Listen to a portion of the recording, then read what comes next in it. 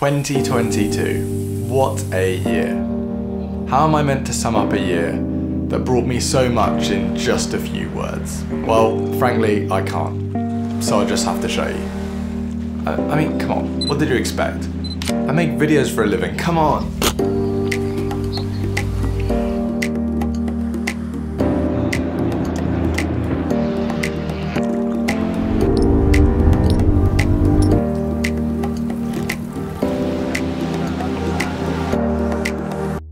My 2022 started in the classroom. For the first five months, I was studying for my A levels.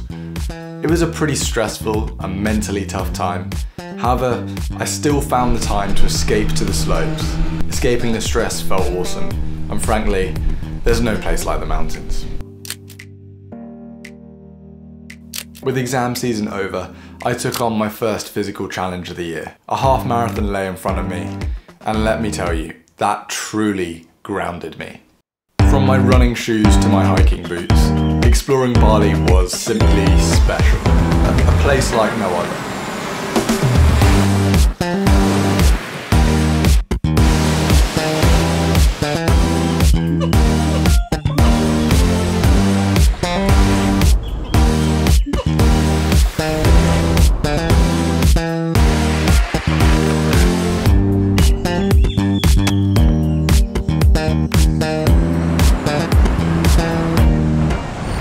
Onwards we went.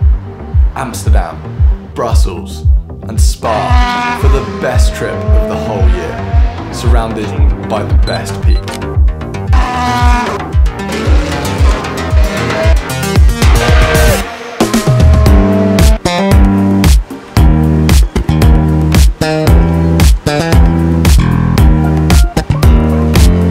Suddenly September's looming, but there was just enough time for one more trip.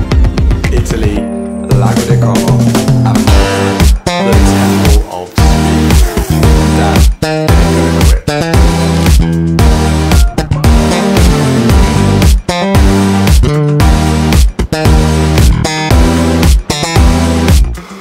One blink and you're home, back at your desk, working on the next big thing.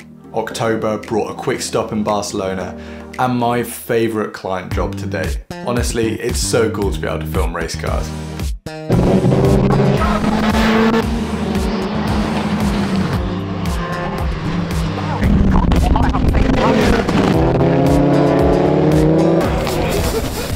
Suddenly, I'm 19. It feels like I'm moving in the right direction, but honestly, who really knows? I'm super grateful to have shared this year with such special people, and they are really what made 2022 so great. 2022 was a fantastic year, but the best part about it is the adventure has only just begun. Bring on 2023.